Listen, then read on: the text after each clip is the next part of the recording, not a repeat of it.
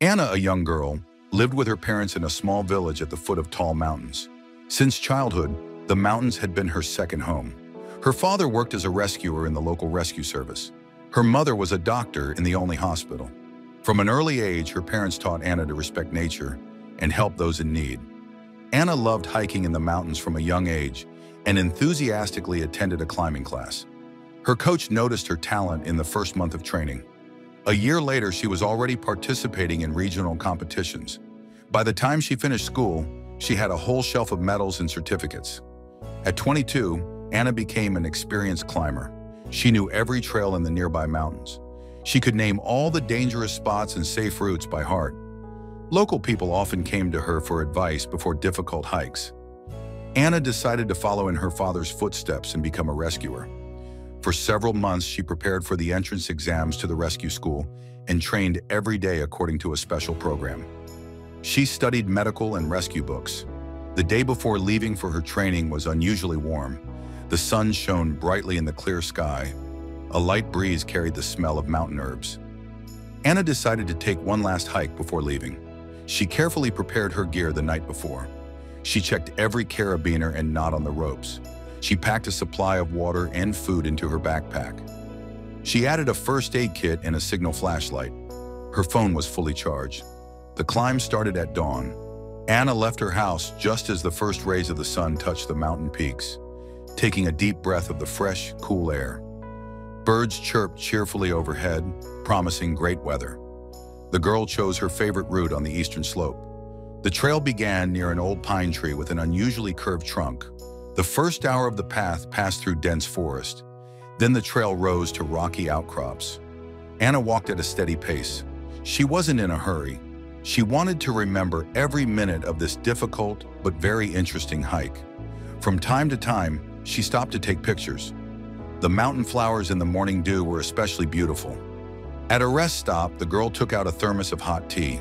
Steam rose from the cup in the cool air. Everything around was quiet. Only a light breeze rustled the treetops. After two hours of climbing, the forest began to thin. The alpine meadow zone started. The grass here was low and tough. Bright mountain flowers grew between the rocks, and the air became noticeably cooler. Anna climbed up to a small plateau where a breathtaking view of the valley opened up. She took out her camera to take some pictures for her parents. At that moment, she heard a strange sound, similar to a baby's cry. It was coming from somewhere below. Anna froze and listened.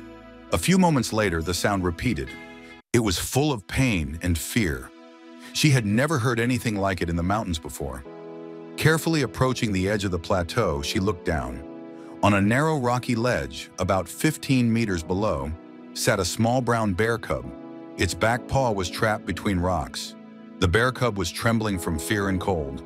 It was trying to free its paw but only made things worse. Every movement caused it more pain, leading to more crying. The situation was critical. Suddenly, a growl was heard from above. Anna looked up. On a rocky outcrop just above her position, a large bear was pacing nervously. It was clearly the mother of the trapped cub.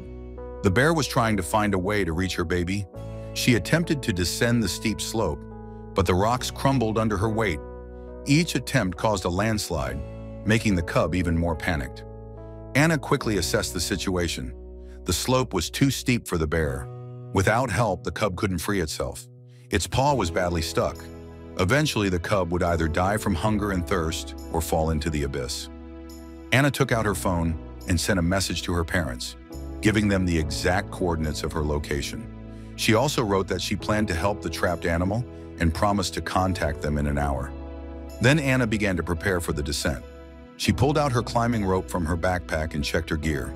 She took off her jacket so it wouldn't restrict her movements and removed unnecessary items from her backpack. The descent would be extremely difficult and dangerous. The cliff was almost vertical.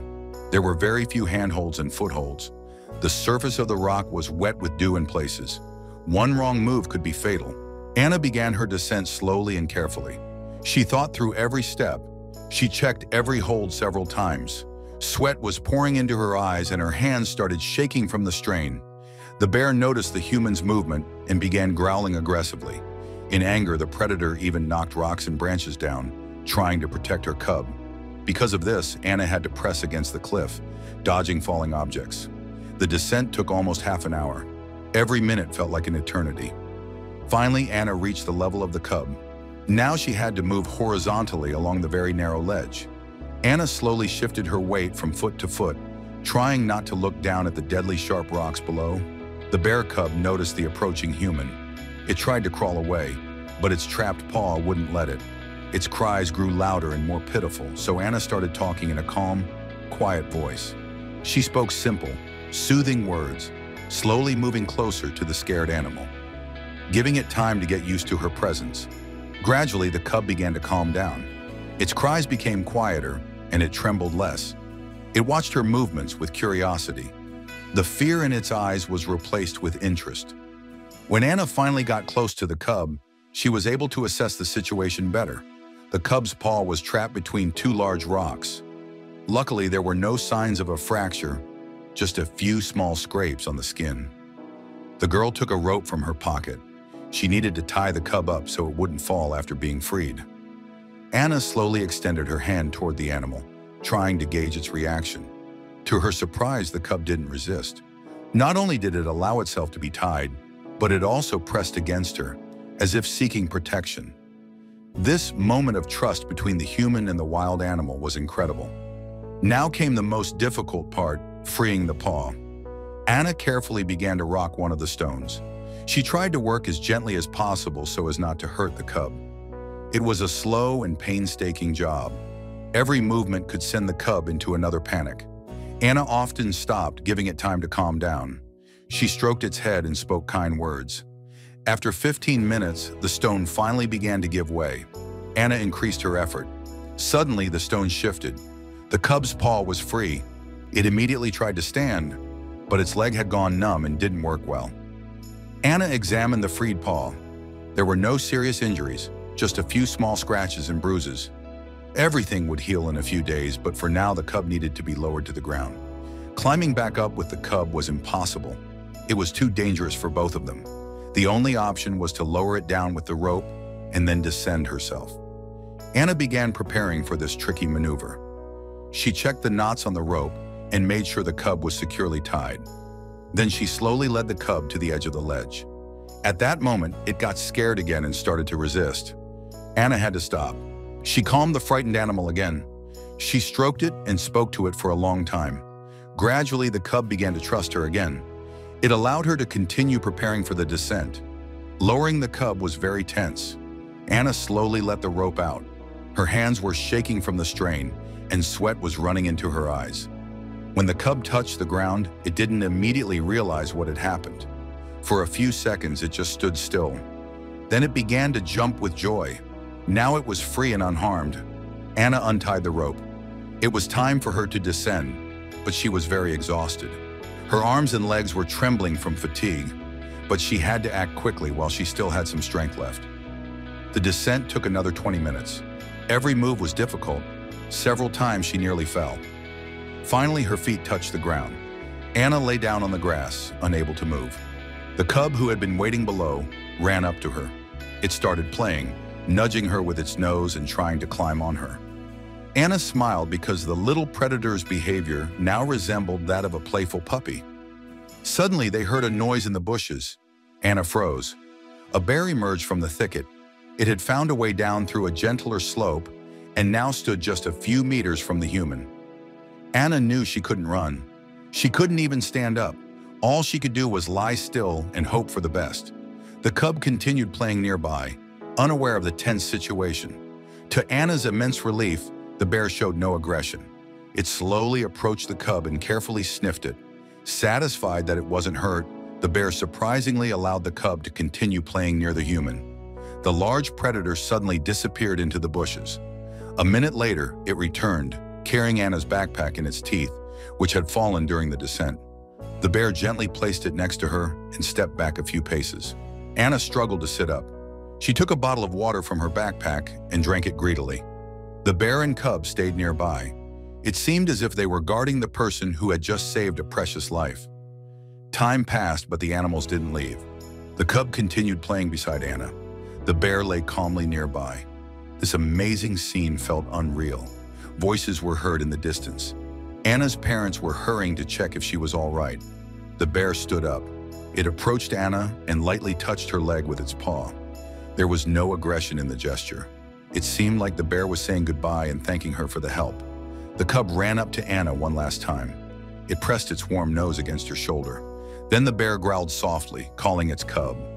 They slowly walked into the forest and disappeared among the trees. A few minutes later, Anna's parents arrived. They saw their daughter sitting on the grass, surrounded by large bear tracks. Their faces showed both worry and relief. Her father was the first to approach her. He immediately noticed the rope marks on her hands and her rumpled clothes. Her mother pulled out water and a dry shirt from her bag. Anna briefly told them what had happened. Then she showed them the spot on the cliff where the cub had been trapped. Her parents listened silently, realizing with horror what their daughter had just gone through. Her father climbed up the gentle slope. He gathered the things Anna had left on the platform. He found her jacket and camera. Everything was intact. Her mother examined Anna's hands. There were blisters and small cuts from the sharp rocks on her palms.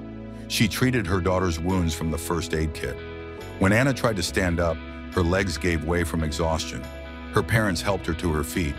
Slowly supporting their daughter from both sides, they began the descent to the village. The next morning, Anna left for her training. She took not only a backpack of things, but also memories of the incredible encounter with the bear family and the amazing gratitude of the animals. Often, during tough training sessions, she would remember that day. The memory of saving the bear cub always gave her strength. She knew she had chosen the right path in life.